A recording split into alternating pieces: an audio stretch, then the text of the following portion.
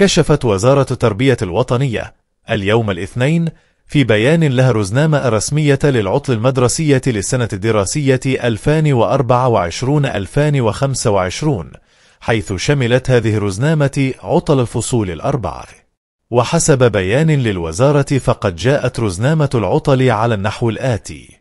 عطلة الخريف تبدأ من مساء يوم الثلاثاء 29 أكتوبر 2024 وتستمر إلى غاية صباح يوم الأحد 3 نوفمبر 2024 في جميع المناطق.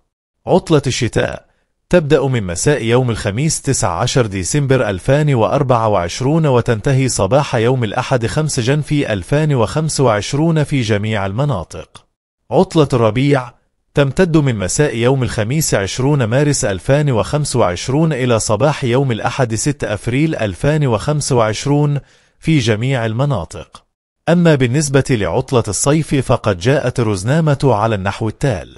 قررت وزارة التربية منح عطلة الصيف للأساتذة ابتداء من مساء يوم الخميس 10 جويليا 2025 أما العطلة الصيفية بالنسبة للإداريين فتكون بعد الانتهاء من كل العمليات المتعلقة بنهاية السنة الدراسية. إما فيها اجتماعات مجالس القبول والتوجيه ونشر نتائج الامتحانات الرسمية وتسليم الوثائق المختلفة للتلاميذ وكل العمليات المتعلقة بالدخول المدرسي.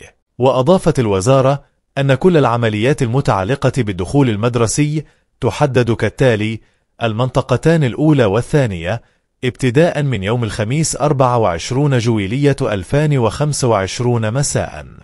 والمنطقة الثالثة ابتداء من يوم الخميس 17 جويلية 2025 مساء.